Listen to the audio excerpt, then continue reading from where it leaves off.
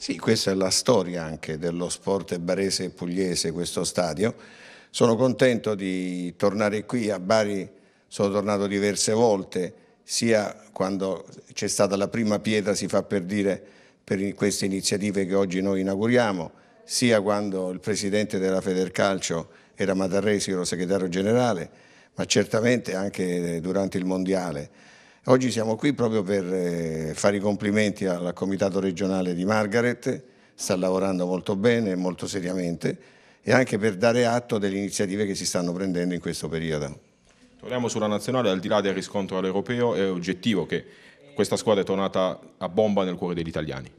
Ma il commento che ha fatto Scariolo subito dopo è stato una realtà, cioè in una partita unica noi possiamo battere chiunque avete visto abbiamo battuto la Spagna che ha vinto, eravamo lì lì con la palla in mano contro la Lituania,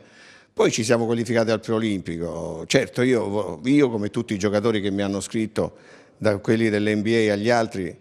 volevamo andare avanti, non ce l'abbiamo fatta, però abbiamo un preolimpico certamente non facile, ma dove ci impegneremo con tutti i nostri mezzi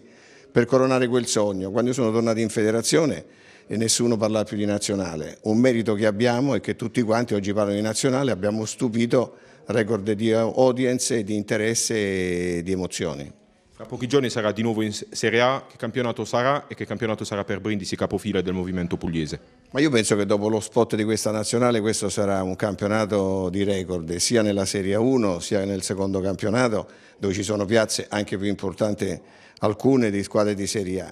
Brindisi, Brindisi oramai è una realtà e devo dare atto a Marino, alla sua famiglia degli impegni economici che hanno messo e di quelli che seguiteranno a mettere perché è una delle società eh, che, di rilievo, una delle società che ben opera nel basket maggiore e poi la capacità di Marino è che si divide tra il presidente di Brindisi, nonché proprietario e presidente di Lega e lo sta facendo con grande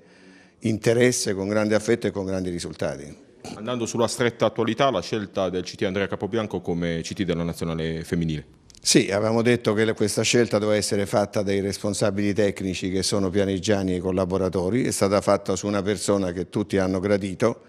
Abbiamo fatto una rivoluzione, come nei tempi, mi dicono, di Giancarlo I e anche dopo, dove c'era Rubini che era responsabile di tutte e due le nazionali maschile e femminile. Oggi abbiamo Capobianco che seguiterà per quanto è possibile a seguire la parte maschile e la responsabilità totale della femminile con diversi collaboratori e in più abbiamo anche la parte atletica con Cuzzoline che è uno dei migliori preparatori del mondo che seguirà non solo la maschile ma anche la femminile.